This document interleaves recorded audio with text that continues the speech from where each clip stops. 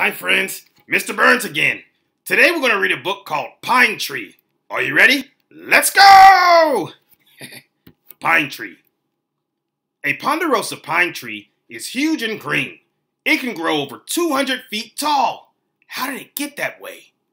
There are all around the world 100 different kinds of pine trees. The ponderosa pine is one of the biggest. A ponderosa pine tree starts out as a tiny seed some kinds of pine seeds can be eaten. They're called pine nuts. Water and sunlight help the seed grow. You knew that already. First, the seed sends out little roots into the soil.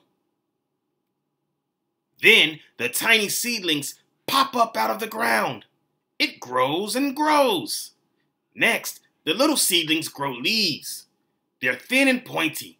Pine tree leaves are called needles. Look at the cute little pine tree. Pines stay green and don't lose their needles in winter. That's why they're known as evergreens. The seedlings get bigger. More needles grow. The little tree looks like a clump of grass. Over time, the tree's stem turns brown and woody. The young pine is now a sapling. A tree's hard stem is called its trunk. Year after year, the sapling grows taller. Its trunk gets thicker. Many branches grow out of the trunk. That's ponderosa pine tree bark right there. The trunk is covered with a thick outer layer called bark. Over time, pine cones grow on the tree's branches. There are male and female pine cones. Male pine cones can be yellow or dark green. Female pine cones can be green or dark brown. The male cones make pollen.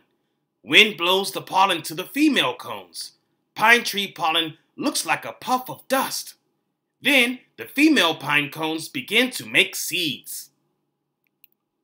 Seeds develop deep inside a female pine cone. As the seeds grow, the pine cone gets dry and scaly. Finally, the scales open up. Closed scales, open scales. After the scales open, birds and other animals feed on the seeds inside.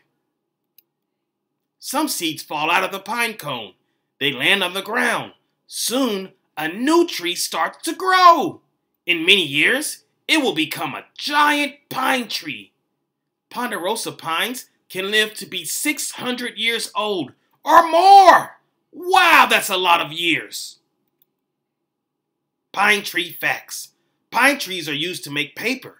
In fact, this book was made from a pine tree. Well, not this book, but you know what it means. Many types of pine trees are used for Christmas trees. Pine trees store food, store water in their needles. Bristlecone pines can live up to 4,500 years. Whoa. When ponderosa pines get old, their bark smells like cookies. Yummy! Let's look at the glossary. Pollen that's the fine yellow dust plants use to make new plants. Sapling. That's a young tree. Kind of like you.